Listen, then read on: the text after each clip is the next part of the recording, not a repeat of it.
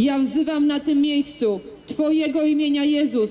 Ja mówię, że tylko Ty jesteś królem. Tylko Ty jesteś Panem, na Twoje imię. Wszystko zgina kolano na tym miejscu. Ja wzywam Twojego imienia, wzywam Twojego potężnego imienia. Ja mówię, że w Twoim imieniu jest moc, że w Twoim imieniu jest siła, że wszystko jest poddane, że wszystko jest poddane Twojemu imieniu. Wzywam Twojego imienia, wzywam Twojego świętego imienia na tym miejscu. Ja modlę się, Modlę się o te miejsce, modlę się o tych ludzi, którzy słyszą, którzy będą słuchali tego poselstwa. Modlę się o tych ludzi. Ja modlę się o otwarte serca.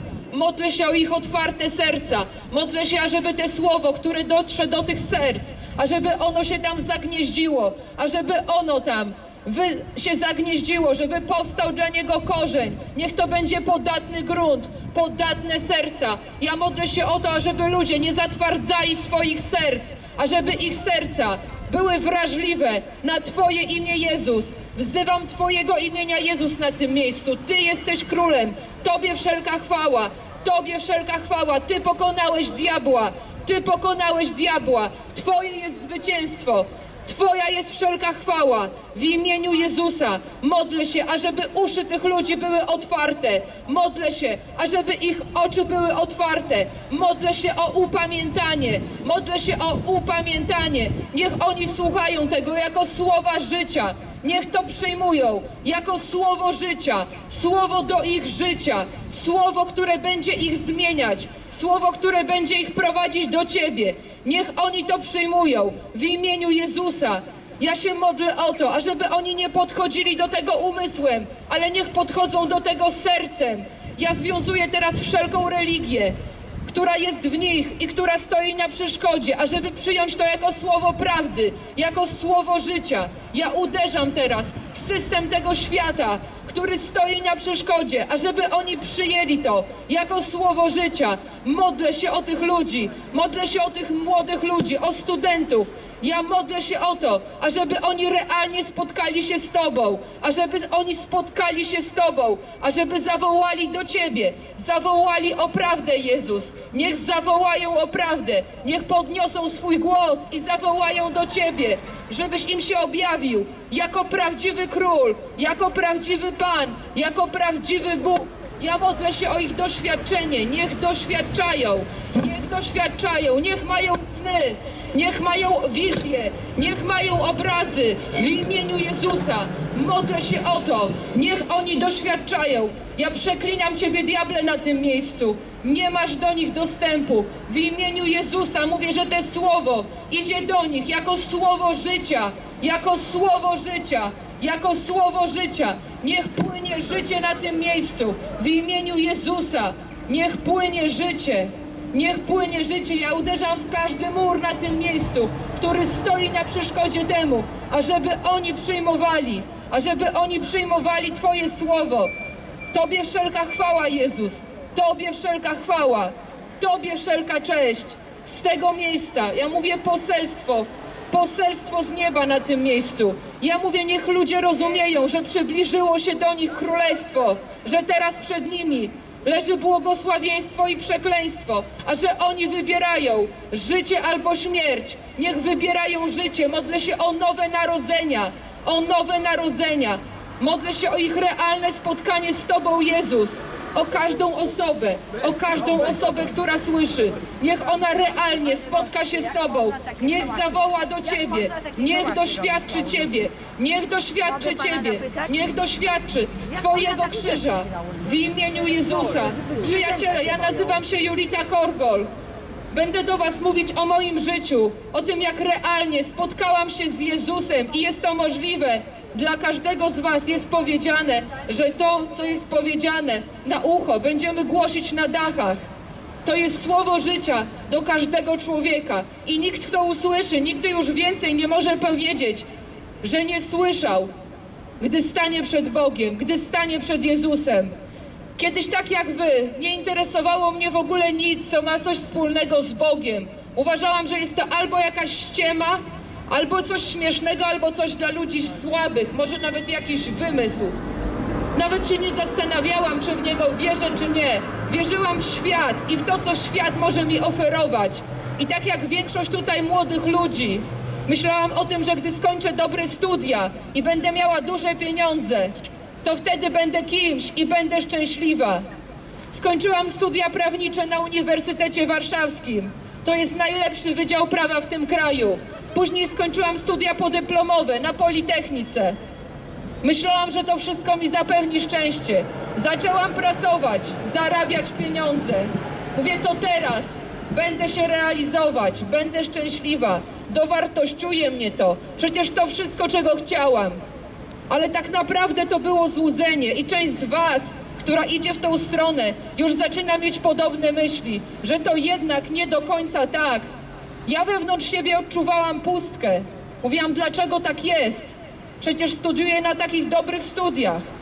Idę po to, po to wszystko, co mogę zdobyć, co mogę zawdzięczać sobie. Skąd we mnie ta pustka? Ale na to pytanie nie znałam odpowiedzi. Myślałam, że jak będę miała więcej, to czymś to się zalepi. Część z Was ma te same uczucia, część z Was goni tak samo za spełnieniem. Ja też byłam w tym miejscu. Później wyszłam za mąż, urodziłam dwoje dzieci. Ale tak się okazało, że to, co było wewnątrz mnie, wcale nie zostało zaspokojone. Że ta pustka była gdzieś w głębi mnie nadal, choć na pozór, na zewnątrz, wszystko było poukładane, był piękny dom, dobre samochody, kilka razy wyjazdy za granicę na wakacje, mąż, dzieci i mnóstwo pieniędzy. To wewnątrz mnie, gdy zamykałam drzwi od pokoju, wiedziałam, wiedziałam, że ja wewnątrz mnie odczuwam pustkę. Odczuwam pustkę i że nic tej pustki nie może zakleić. I zastanawiałam się, dlaczego tak jest. Dlaczego tak jest? Dlaczego tak odczuwam? Skoro mam wszystko to, co oferuje świat i tak naprawdę więcej już nie ma. Wiedziałam, że ani dobre wykształcenie, ani pieniądze, ani nawet poukładane życie rodzinne nie zalepiają dziury. Mówię, czego szukam, czego jeszcze nie mam. I tak jak wy teraz usłyszałam Ewangelię o Jezusie. I mój umysł z tego szydził. Mówił, jesteś tak dobrze wykształcona, tyle wiesz o tym, jak działa ten świat. Jezus, po co ci to? Co ty z tym zrobisz? W którą przegródkę to włożysz? Ale moje serce, moje serce drgnęło, gdy usłyszałam o Jezusie.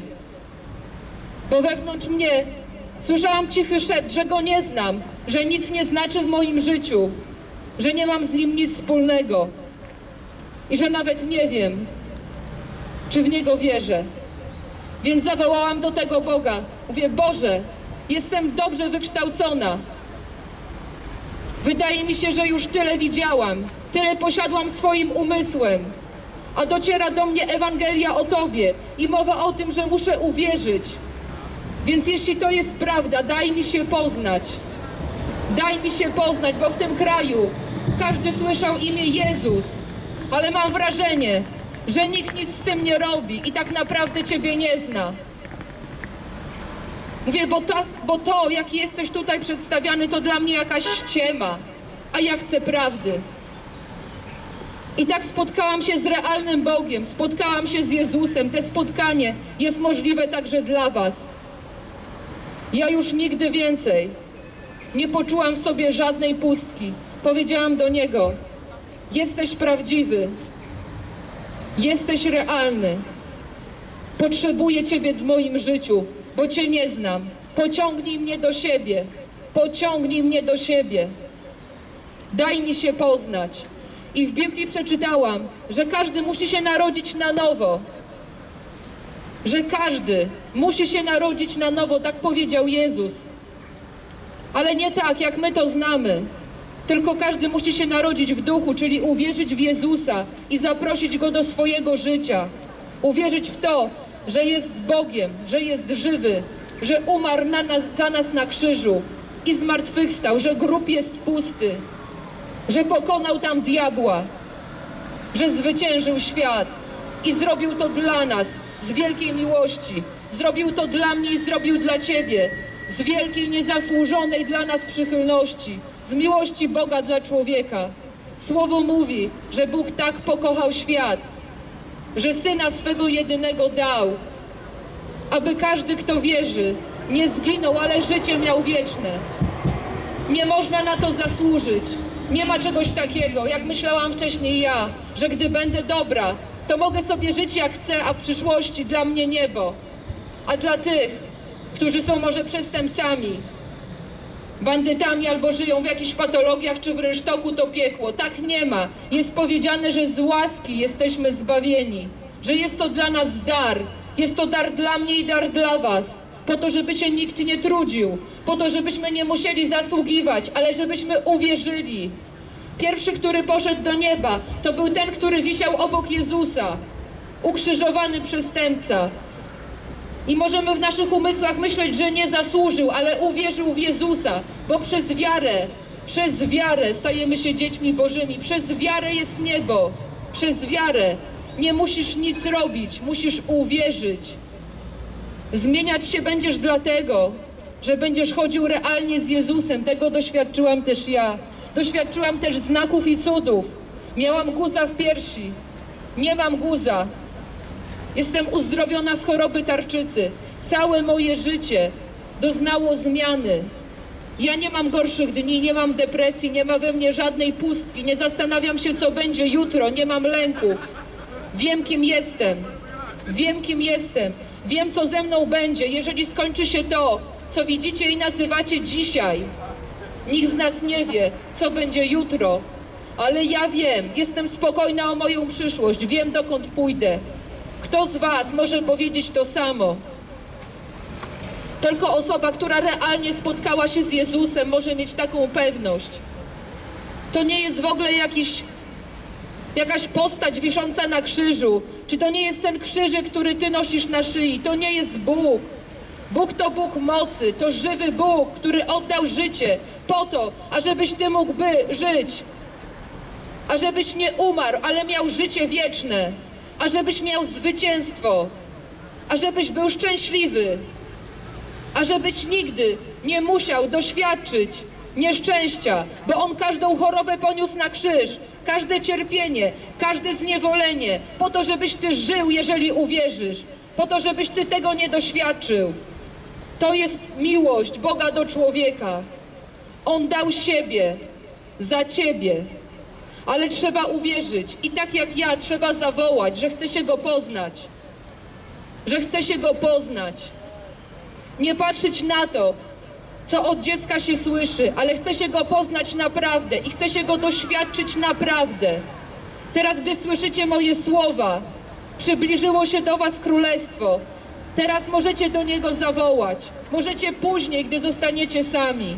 Możecie zawołać do Jezusa, że chcecie go poznać i doświadczyć. Być może tak jak ta kobieta, która teraz do Was mówi. Poznać takiego Boga, który przyjdzie jako Bóg mocy, jako Bóg mocy, jako prawdziwy Bóg, ten, który zmartwychwstał, bo grób jest pusty, a On żyje. Takiego Boga. Zawołaj do Niego, że potrzebujesz takiego Boga, Boga mocy, Boga, który zmienia życie. Jeżeli się za Nim idzie, Boga, który jest prawdziwy. Zawołaj do Jezusa. Przed wami jest położone błogosławieństwo i przekleństwo, życie albo śmierć. Decyzja należy do was. Większość z was tutaj to młodzi ludzie startujący do życia. Ja kiedyś też byłam w takim miejscu. Zawołajcie teraz do Jezusa. Teraz zawołajcie na starcie swojego życia. Powiedzcie, że chcecie Go poznać i Jego Królestwo a możecie go doświadczyć jako Boga, Boga mocy, jako Króla Królów i Pana Panów. Amen.